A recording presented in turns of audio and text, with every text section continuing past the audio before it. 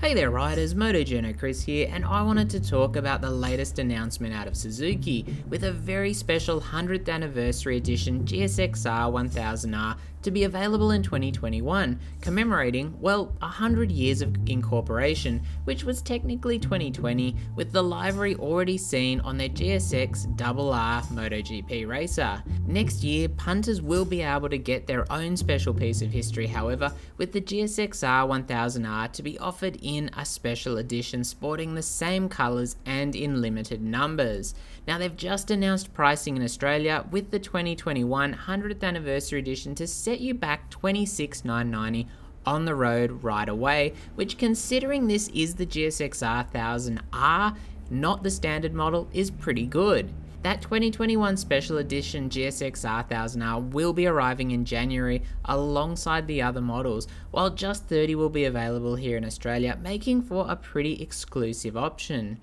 Now the latest generation GSX-R 1000 is the most powerful ever, producing almost 150 kilowatts and close to 120 newton meters of torque alongside a motion track traction control system, launch control, up and down quick shifter, ride modes and cornering ABS. Plus, you get the high spec Showa balance free front forks and Showa balance free rear cushion Lite shock, Brembo monobloc 4 piston calipers, and Brembo hybrid 320mm rotors. It does look like there's a GSXR 1000 version of the 100th anniversary special edition or a standard version rather than the R, but it doesn't look like we'll be receiving that here in Australia. Just as exciting, if you ask me, is that Australians will also have the opportunity to get a 100th anniversary GSXR 600 or GSXR 750, with ever tightening restrictions out of Europe, putting a lot of our beloved motorcycles at risk, with the R&D required to get them into Euro 5 form, and most manufacturers not wanting to see performance suffering in the updated version,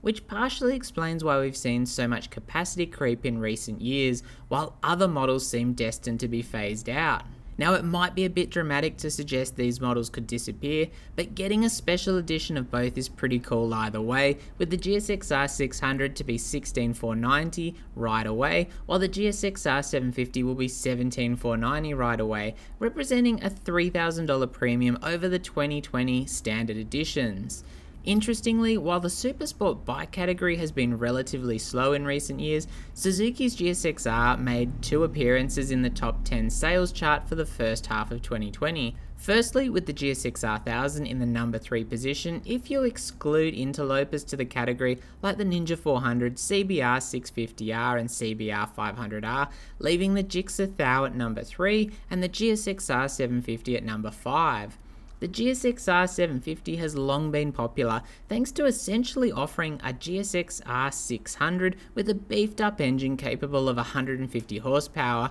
claimed at least, with a negligible weight difference.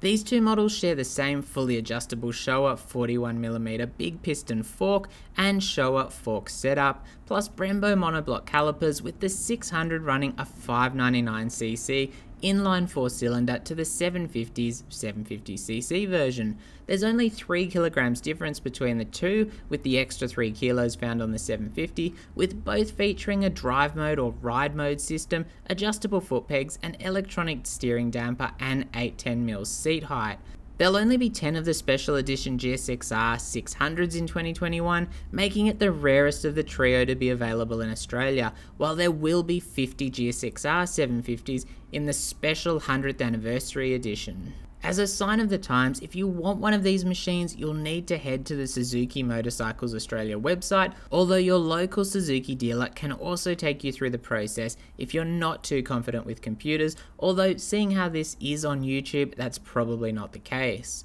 So what do you think of these offerings from Suzuki? Does the traditionally inspired livery tick all the boxes for you? And would you go the Gixxer 1000 or does the 600 or 750 sound the better deal? Let me know your thoughts in the comments below, and if you've enjoyed the video, don't forget to sub and hit that notification bell. As always, stay safe out there.